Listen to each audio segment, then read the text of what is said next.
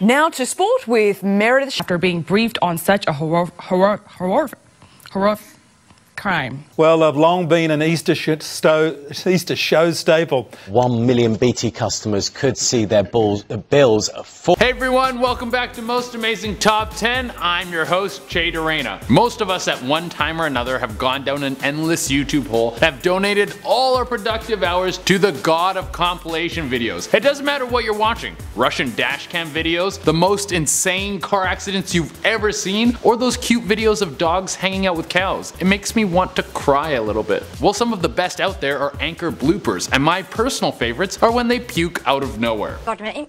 Eh, 12. There's something about a person puking that makes me giggle like a kid who just found out what farts are. So today we'll be diving into some of the more awkward moments that happen with news anchors with today's list of top 10 funniest live TV interviews. Make sure you stick around for the top 3 because I got some classics on this that you guys are gonna love for sure. As always, make sure you like, comment, subscribe, and hit the little notification bell. Also, follow Most Amazing Top 10 on Instagram and Facebook. It's a great way to get to know myself and the other hosts a little bit better. And without taking any longer, let's get into this list. At number 10, we have Powerball prize money. We're going to kick off today's list with one of the most honest people who has ever been captured on television. This guy is out there trying to win $500 million.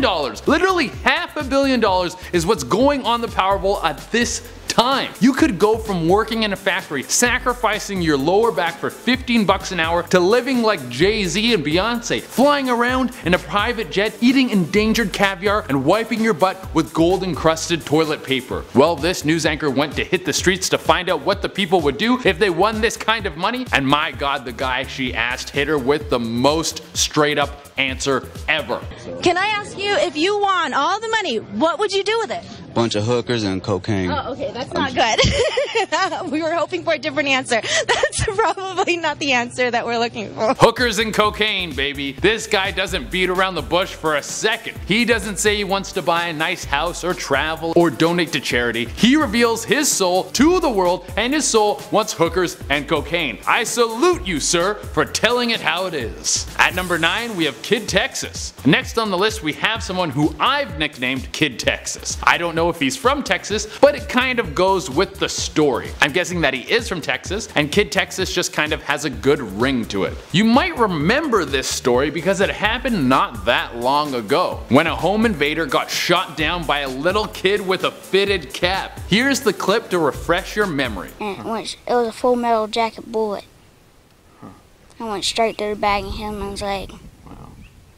And he started crying like a little baby. This is one of the most badass things I've ever seen. The kid saw a man in his house, shot him in a place that didn't kill him so the police could come and arrest him. While he was waiting for the police to get there, he called the guy a little baby for crying. Don't mess with Kid Texas unless you want to be used for target practice. I wish I had this kind of composure. If someone broke into my house, I'll probably run to the bathroom so I could lock myself in there. And hopefully the intruder doesn't see my naked shadow scurrying there for safety. And at number 8 we got the building is on fire. It feels just like yesterday that every week we had a new person on the news giving us an interview that was so good that you know it was gonna get turned into a song. And this one was one of the best. All I know about this interview is that the building was clearly on fire beforehand and this lady was not gonna get caught up in that trash. No way. I love how you can tell that she just got out of bed and she's already so focused in the interview. I guess escaping a burning building will do that to you.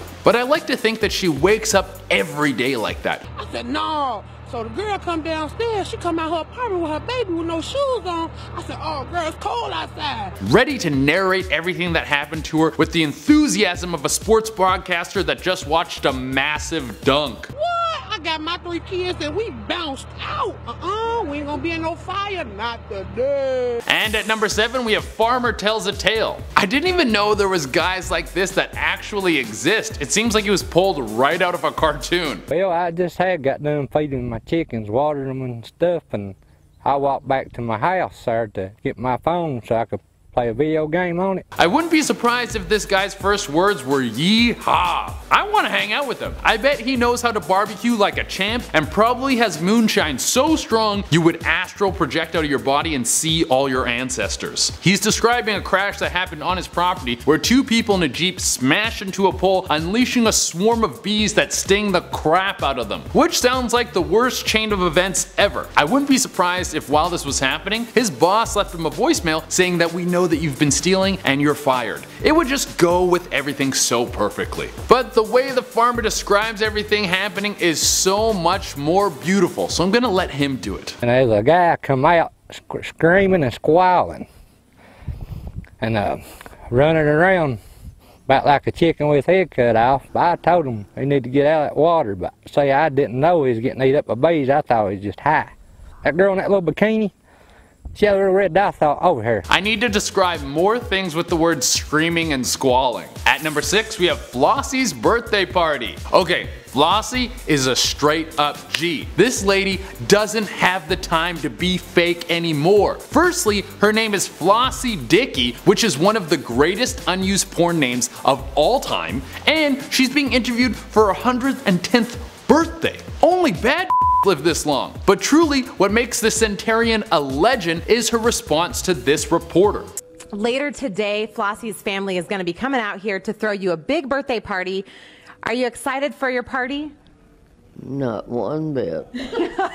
She's 110 years old. She doesn't care anymore. She wants to be left alone so she can chill and watch TV. She even says earlier in the interview that her favorite activity is napping. I can't wait till I'm at the age where my favorite activity is napping and I can tell my family that I don't care about them. Flossie, we all love you. Thank you for showing everyone what it means to be real. At number 5 we have the Brisbane Crime Stopper. Now we're gonna fly over to Australia where the spiders are big enough to eat children and the kangaroos run wild like raccoons. We have a guy with no front teeth who stopped a guy from fleeing the scene of a crash after he smashed into a store. The jokes write themselves on this one. Some dude falls asleep behind the wheel of a car and then drove into a store. He tries to take off on foot after he smashed into the store. But I think this local hero gives a much better breakdown than I could ever, so here it is. You like don't be taken off like you've just crashed into the shop. Oh, Ian goes, oh mate, I fell asleep behind the wheel. And I'm like, yeah, righto mate, well you still don't be fleeing the scene. And he goes, don't be a hero mate. I wasn't trying to be a bloody hero. Oh yeah, I think he saved the day and my favorite part of the whole interview is this. Him down the street in the undies and then he started getting too far and I'm like, oh, well I better catch up to him quicker and come back home and got my car.